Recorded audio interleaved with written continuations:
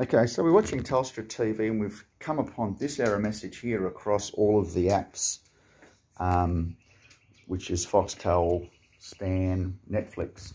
Okay, so we're trying to watch Outlander and we've, we're presented with this error. Now, we follow those steps of disconnected and reconnected HDMI. I'll switch that off, uh, that being the television. And then disc, and I'll switch off this um, Telstra TV device down here by yoinking the plug, put it back in again. See there's no light on the, can you see there? Uh, whatever, there's no light on this box. There's no light on it. Now, now there is, okay? So it'll come on as tick. So that's rebooting. And that's what you want. You turn the TV back on, boot everything up again. Now, um, might be that I'm broadcasting already to this um, television and that could be a problem. I'll get back.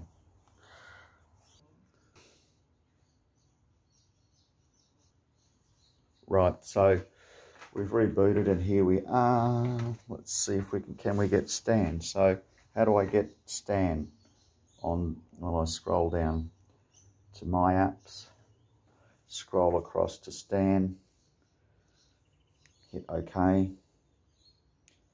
Now, do we get, get the same message again?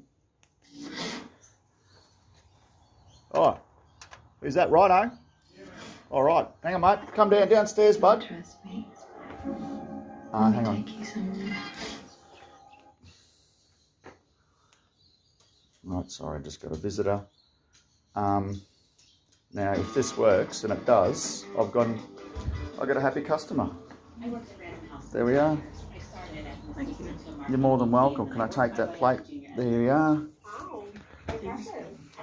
Okay. Do you need anything else of me, ma'am? Can I? Job done. Happy days. Good on you.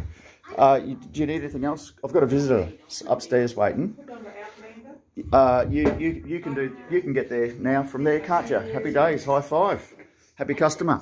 Just sent the bill to... Ah, it's, check's in the mail. Check's always in the mail. All right, thanks. See ya.